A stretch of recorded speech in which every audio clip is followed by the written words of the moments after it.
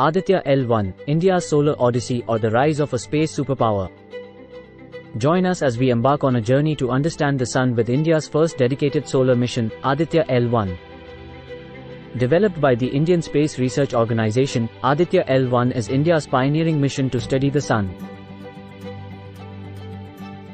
The mission aims to delve deep into the solar atmosphere, exploring the chromosphere and the mysterious corona. Aditya L1 will provide invaluable data on the visible emission line and the enigmatic solar corona. The mission was launched from the Satish Dhawan Space Center in Sriharikota by ISRO at 11:50 am IST on Saturday, September 2, marking a significant milestone for India. India joins an elite group of nations, with the US leading in solar missions, followed by the ESA and others. The mission comprises four main phases, each crucial to its success and data collection expected to last 5 years.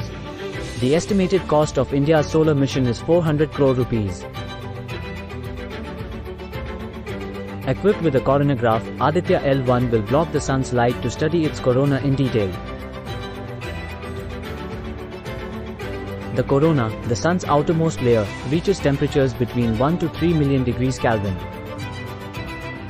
This bright line in the spectrum reveals the sun's atomic and molecular activities. Aditya L1 cements India's place among nations dedicated to understanding the sun.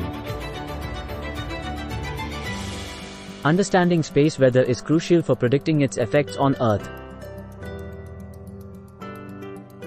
Aditya L1 data will enhance our understanding of the processes heating the sun's atmosphere. Aditya is a Sanskrit term for the sun god. And L1? That's the Lagrange point 1 between the sun and Earth, where the spacecraft will be stationed.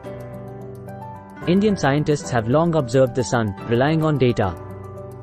A 1,500 kg satellite equipped with seven instruments, SUIT, VELC, ASPEX, HEL-8OS, SoLEXS, magnetometer, and plasma analyzer.